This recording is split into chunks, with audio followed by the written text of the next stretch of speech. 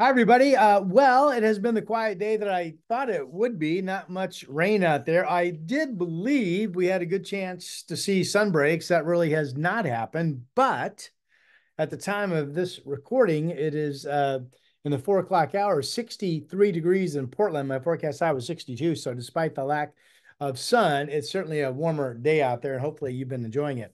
Okay, well, we are getting close to some action, and that's where I begin. So, Notice this system offshore. It's already throwing some clouds up into our region. One of the reasons that the sunbreak part of my forecast has failed today.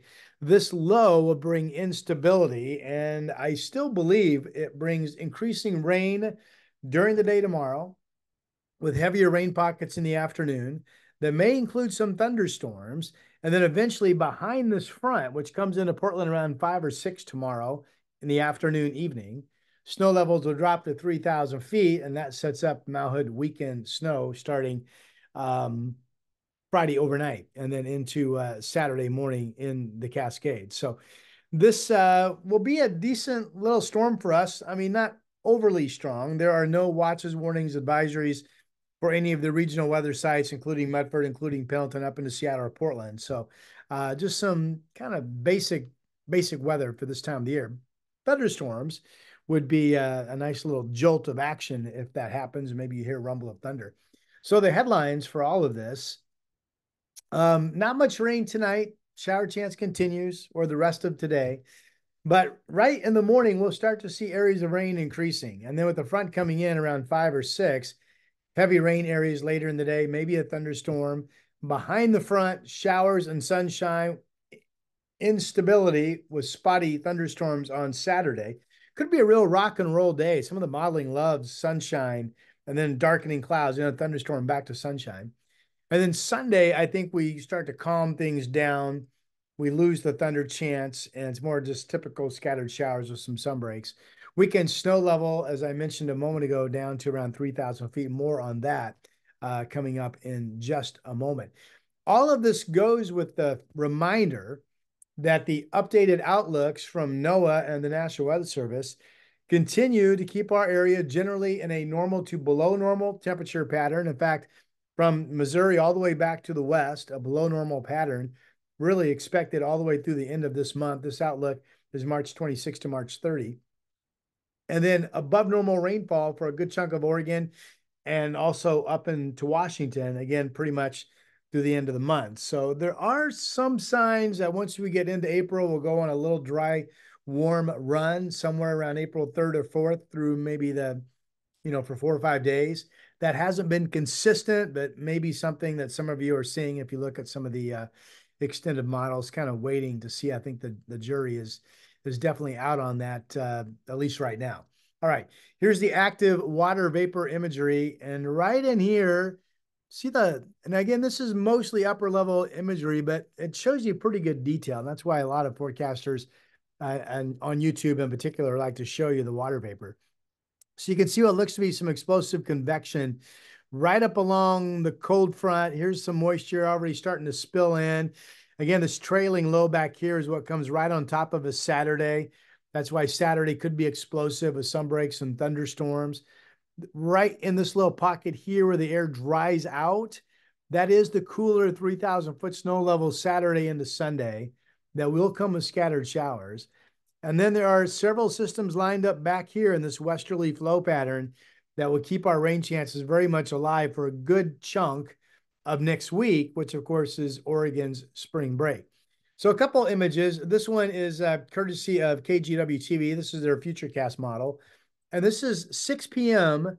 Um, tomorrow evening. So here's the front coming in five, six o'clock. Pretty widespread rain later in the day.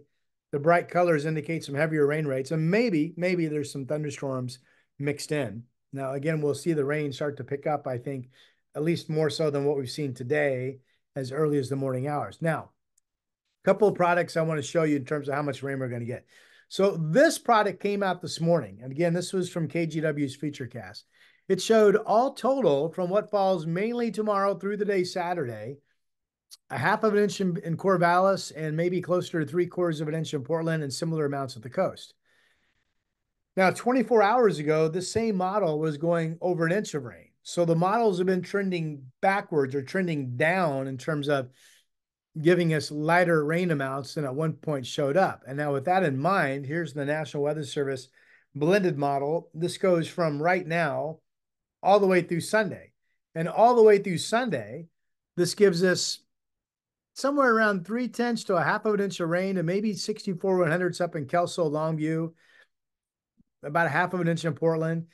And again, this would be maybe a quarter to three or four tenths of an inch of rain tomorrow, and then maybe at most 15 one hundredths to a quarter of an inch of rain on Sunday. That would be the breakdown. Similar amounts again at the coast. It's interesting. The models really aren't giving any more at the beach than they are the valley.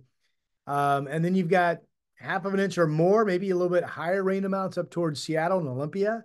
We still have that bullseye of heavier rain amounts down here in the um, southern Oregon coast showing up where you see the red and some measurable rainfall across all of, uh, of Oregon. So sticking with this national blended weather model, this is the what's meant to be a future radar product. So we're going to see not much rain the rest of today, not much tonight, although a, a, shower chance is certainly in the forecast. But this is tomorrow morning, starting around 5, 6 in the morning. So here we are, rain picking up through the mid morning hours. Here we are getting into late morning, going into afternoon. Now here we are at, uh, at 5 p.m. This doesn't really show you the heavier rain pockets and the color coding, but I do believe they will be there. I believe that's true, but certainly it's raining more than not as that front comes in the latter part of the day into the evening. And then this only goes, yeah, this one is just came in, only goes into early, early, early Saturday morning. But back here, right back here is that upper level low, the surface low also that trails the cold front. This is going to continue migrating rounds of showers likely mixed with some breaks during the day Saturday and maybe some scattered storms. I, I, am really liking the scattered storm chance on Saturday. The more I look at the colder air mass aloft and and the fact that uh, some breaks are absolutely looking to be uh, likely. So, what about snow? Certainly possible that Saturday morning we have snow accumulation over the Cascade passes. Now, so far, those passes have just been wet this entire week. Here's government camp right now in the four o'clock hour at 44 degrees and all the passes are in great shape, including Cabbage Hill. It's been dry out east for days now. And even the Siskiyou Summit down in California, 53 degrees. How about that? It's getting to be that time of the spring months that you really need a pretty good storm system to hold the Cascade passes down below freezing during the day. So tomorrow, 5,000 foot snow level. Front, the cold air doesn't hit the Cascades until tomorrow evening after dark, really. So could be four inches of snow, around 5,000 up to 6,000 feet. It'll just be rain at government camp. And then Saturday, the snow level 3,000 feet, but government camp probably gets above freezing during the day. So three to six, maybe the only time the passes are snow covered are early in the morning and then they melt off during the day. One to three Sundays, a shower pattern starts to quiet down. Generally, the snow levels hold below 3,000 feet most hours all the way through Tuesday. With more weather systems coming, none of them strong, you've got to think at least above 4,000 feet, four or five inches on Monday, potentially. Same thing on Tuesday. So if that's the case, at least there would be some decent rounds of fresh powder for skiers and boarders uh, if you're going up for Oregon spring break uh, next week. Um, not terribly cold up there. As you can see, the temperatures at pass level easily above freezing. All right, what about the coast? Number one vacation destination is always the beach here in Oregon. Research uh, shows that. 60 in Lincoln City today. They've had cloud cover, but it's warmed up. Uh, there you can see Tillamook Head, so the clouds are above that from the camera gear Gearhart by the Sea Resort.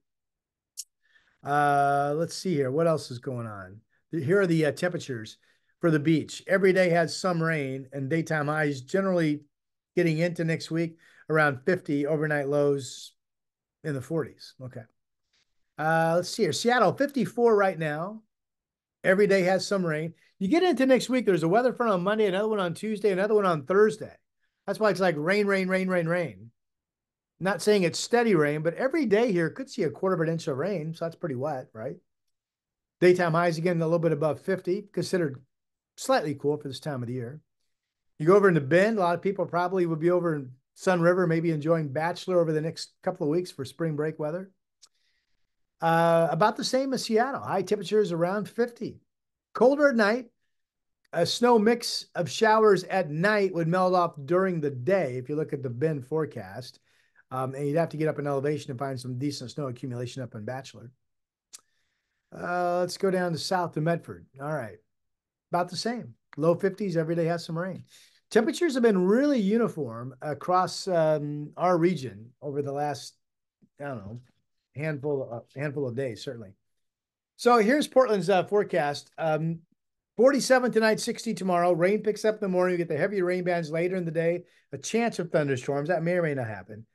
I love the the scattered spotty storm chance on Saturday with sun breaks, 45 to 56. Um, I like a, and there could be some hail mixed in there too.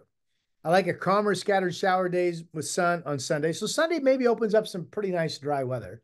And then it's raining more than not on Monday, raining more than not on Tuesday, maybe a little bit of a break on Wednesday, raining more than not on Thursday.